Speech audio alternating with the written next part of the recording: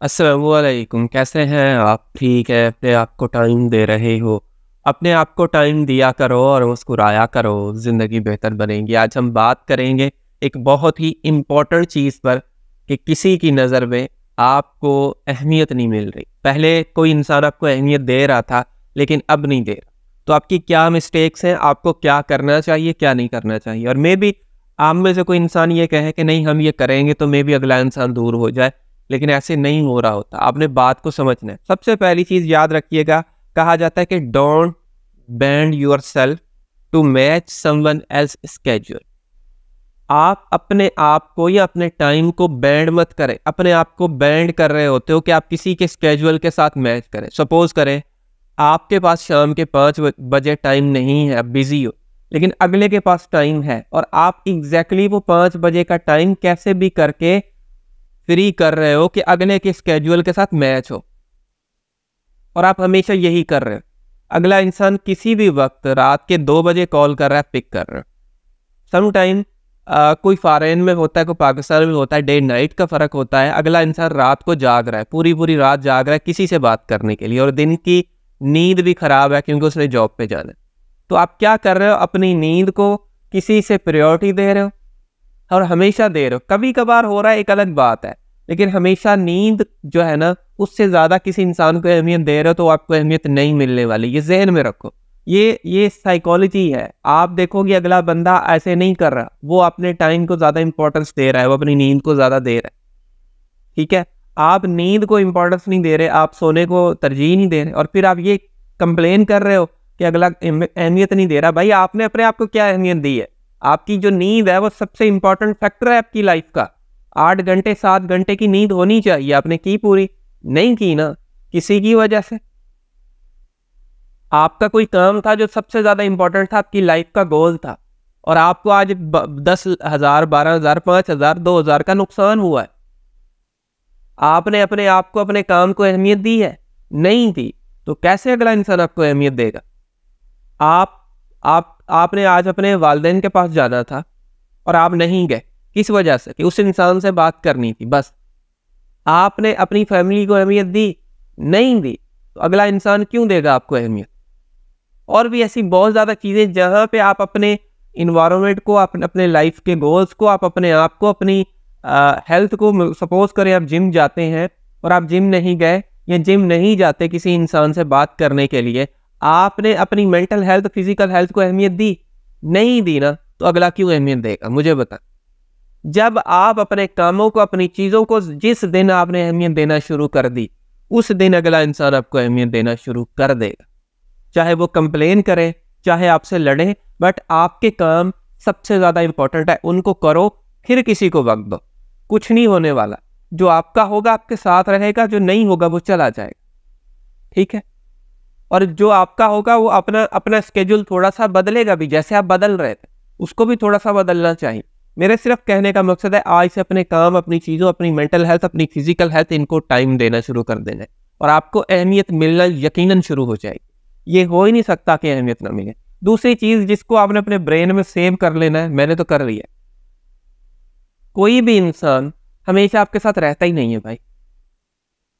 हमेशा रहता ही नहीं कुछ टाइम का वक्त होता है, कोई बीस साल, कोई पच्चीस साल, कोई तीस साल भी हमारे साथ रहता है। कोई दो साल रहता है, कोई साल रहता है, कोई पाँच साल रहता है, कोई छः साल रहता है। हर बंदे का एक लिमिटेड वक्त है। बस उसने उतने ही रहना है। अब आप ये मत समझो कि एक टिल द एंड आपकी साठ साल एज है, पैंसठ साल एज है, उस तक भी कोई बंदा जाएगा। बहुत रेयर किस्म के लोग होंगे, मे भी चले जाए वहाँ बट बड़ा मुश्किल है। कहने का मकसद है जब आप इस चीज़ को एक्सेप्ट कर लेते हो कि हर बंदा पूरी लाइफ आपके साथ नहीं रहने वाला, आपकी लाइफ आपकी है उसको आपने जीना है, उसको आपने ठीक करना है, उसको आपने बेटर करना है। किसी के इंतज़ार में नहीं बैठे कि वो आएगा तो फिर मेरी लाइफ अच्छी होगी या मैं अपनी लाइफ को अच्छा करूँगा तो कभी नहीं होने वाला।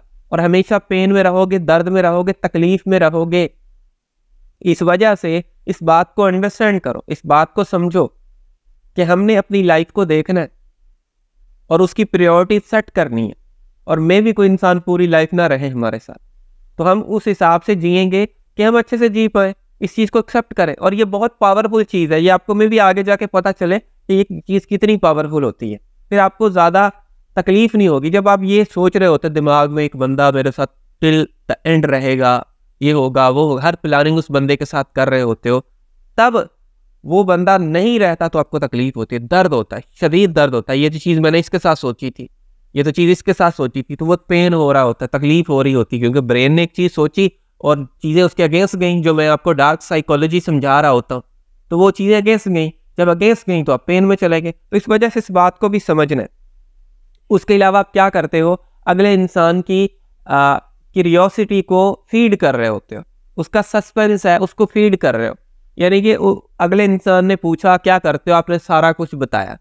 ए टू जेड सारी चीज़ें बता दी। या और डे में या कोई ऐसी थोड़ी बहुत सस्पेंस की चीज़ है और आपने फ़ौरन अगले इंसान के सामने पेश कर दी स्क्रीन दे रहे हो पासवर्ड्स दे रहे हो डिफरेंट चीज़ें हैं जो कुछ देने वाली नहीं होती, वो दे रहे होते हो, अपनी पर्सनल लाइफ शेयर कर रहे होते हो फैमिली के जो है ना प्रॉब्लम शेयर कर रहे हो डिफरेंट ऐसी चीज़ें हैं जो आप एग्जैक्टली अगले इंसान के सामने रख रहे होते हो, उसके, जो मैंने एक आपके साथ लेक ऑफ़ इन्फॉर्मेशन का कॉन्सेप्ट शेयर किया था, आप अपनी फुल इन्फॉर्मेशन किसी के सामने रख देते हो, अपने आप को पूरा का पूरा रिवील कर देते हो फिर आप ये कहते हो किसी का इंटरेस्ट नहीं रहा, वो अहमियत नहीं दे रहा।